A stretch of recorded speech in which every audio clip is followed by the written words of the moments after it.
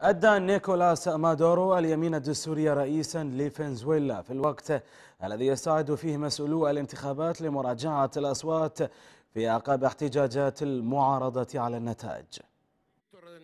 نصب نيكولاس مادورو رئيسا جديدا لفنزويلا بعدما أدى اليمين الدستورية أمام الجمعية الوطنية في كاراكاس خلفا للرئيس الراحل هوغو شافيز. بينما يستعد مسؤولو الانتخابات لمراجعة الأصوات في الانتصار الذي حققه مادورو بفارق ضئيل.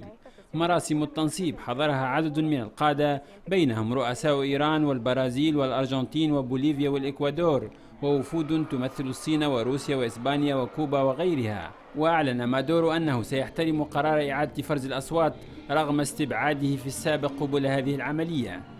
وعبر مادورو عن احترامه للمجلس القومي للانتخابات رغم اختلافه مع القرار الذي اتخذه المجلس إلا أنه اعتبر أن القضية منتهية.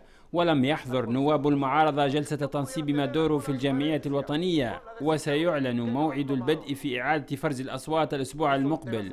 وفجر النزاع على نتيجة الانتخابات أعمال عنف في العاصمة كاراكاس قتل فيها ثمانية أشخاص وهو ما دفع مادورو إلى اتهام خصمه كابريلس بالفاشية في حين تبرأ المرشح الخاسر من العنف ودعا أنصاره إلى الاحتجاج سلميا. وكان الرئيس الفنزويلي المنتخب توجه أمس إلى العاصمة البيروفية ليما حيث التقى قادة دول اتحاد أمريكا اللاتينية لضمان دعمهم له.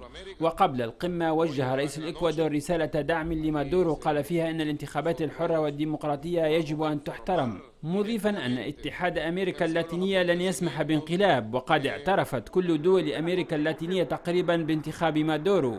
وكانت الولايات المتحدة قد اعتبرت نظام الرئيس الراحل هوغو تشافيز عدوها اللدود في أمريكا اللاتينية وساندت المعارضة الفنزويلية في مطالبتها بإعادة فرز الأصوات. في موقف أيده أيضا الاتحاد الأوروبي الذي اكتفى بقوله أنه أخذ علما بانتخاب مادورو.